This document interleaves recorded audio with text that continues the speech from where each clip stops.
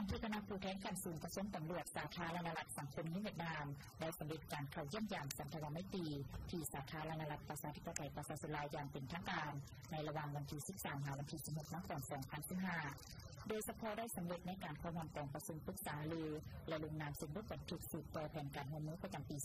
2015 ระหว่างสองคณะผู้แทนขั้นสูงกระทรวงป้องกันความสงบสาธารณรัฐประชาธิปไตยประชาชนลาว และกระทรวงตำรวจสาธารณรัฐสังคมนิเวียดนาม อันจบงามที่เป็นไปด้วยบรรยากาศแห่งความสามัคคีมิตรภาพ ประกอบส่วนเสริมขยายสายตัวพันและให้การร่วมือรอบด้านในการปฏิบัติหน้าที่เวียดนามป้องกันความสงบแม้ใส่ก่อสร้างปรับปรุงพัฒนากำลังประกอบอาวุธก็คือเวียดนามป้องกันความสงบของส่วนกระทรวงตำรวจเวียดนาม และกระทรวงป้องกันความสงบลาว ให้เปิดในทิมแขงก้าวคืนให้สำเร็จหน้าที่วิสาสะพาะป้องกันความสงบรับประกันให้ตัวสังคมของสองประเทศลาวเวียดนามให้มีความเป็นระเบียบเรียบร้อย และมีความสงบปลอดภัยโดยพื้นฐาน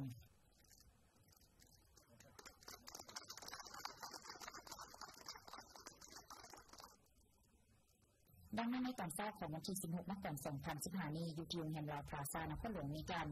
ท่านพลจิตวัฒสินทวงศ์ไสยกรรัฐมนตรีช่วยว่าการกระทรวงป้องกันความสงบลาวพร้อมด้วยคณะ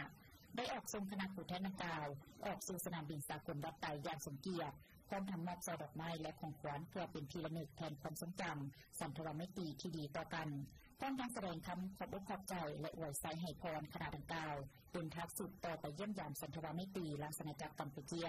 ด้วยความสวัสดิภาพเลยมีผลสำเร็จอันยิ่งใหญ่ด้วยไมตรีจิตมิตรภาพ มีความสามัคคีสืบต่อหัวมือรับดาน ซึ่งกันและกันตลอดไป